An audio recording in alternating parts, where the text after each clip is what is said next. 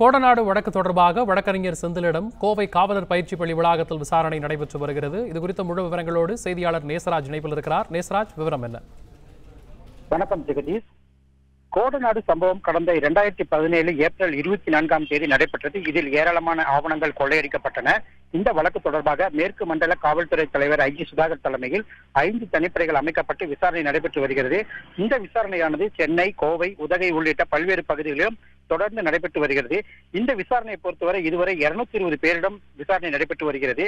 இந்த விசாரணையில் மணல் ஒப்பந்ததாரர் ஆறுமுகசாமி அவரது மகன் செந்தில்குமார் அவரது உதவியாளர் பழனிசாமி அதே போல பாண்டிச்சேரி தகவல்களுக்கு நன்றி நேசராஜ்.